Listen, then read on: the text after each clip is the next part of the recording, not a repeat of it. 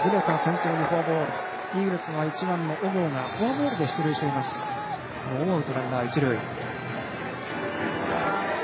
スタートを切っています。ここもスタート低めは外れた連続フォアボールノーアウトランナーっていうのは早いカウントなんですよね。だからこう初球にっていうところで何何かが変わってくれればなっていう感じで多分変化球が先に出したと思いますね、えー、で今度は速いボールに左中間は破れフォアボールフォアボール浅村。タイムリーヒット。1点返します。そして回した回した。ホームに向かってくる。同点。1回両チームともに2点ずつ。2対2同点。まずはバッティングから伺っていきましょう。初球変化球ボール気味の球にバットが回った後の浅村。2球目でした。まあまっすぐですけれどもね、えー、まあ甘く入ったところ初球打ちはランナー突っ込む3分間にランナー挟まれていますがちょっとそれたシーンでホームがアウトですアウトですツーアウトランナー一塁と変わっていますで、ここでリクエストですかね。映像はよくわかるんじゃないですか。あお空振りしてますね。ですね。スピードですね。判定はセーフです。リクエスト成功、ホームインです。ですから、なおもワンアウトランナーが一塁。トゥトゥ、イニングの先頭。引っ張って、ヒットにした長打コース。この回も得点圏にランナーが行きますノーアウトランナー二塁このヒットがそれこそコンセが投げた4月9日のオリックス以来のヒットです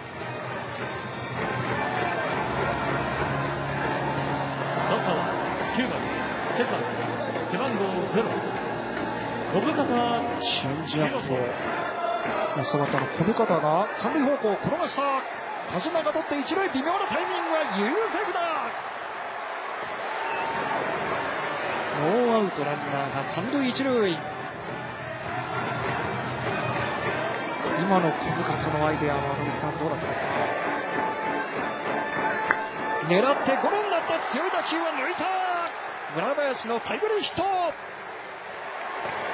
5試合ぶりの打点をマークしています。センター返しこれで8試合連続安打。特にここがノーアウトの状況で1番の小郷が。曲げたり小さく早く曲げたり、いろいろやりますよね。そうですねセンターはこいつ取れない。阿部はどこまで行くんだ？三塁までは行けそう。ようやく追いついた。三塁打になります。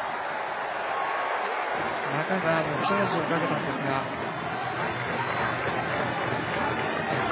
変化球2球空振りがありましたが詰まりながらセンター方向に持っていきました。や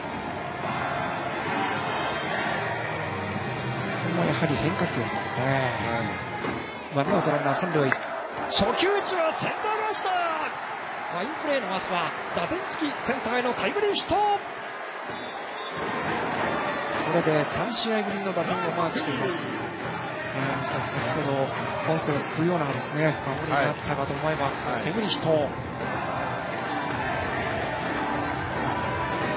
迷いなかったですか？あもう全くなかったと思いますね。でこれあの